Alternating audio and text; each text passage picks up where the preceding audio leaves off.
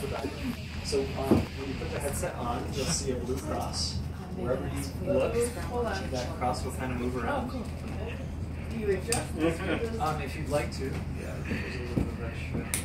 It's so funny. yeah. And It's so funny. Um, so wherever you look, you'll see kind of the, it's, the blue. it's blurry. So the Yeah, so resolution. use the, This? yep. And he wasn't listening. I was, uh,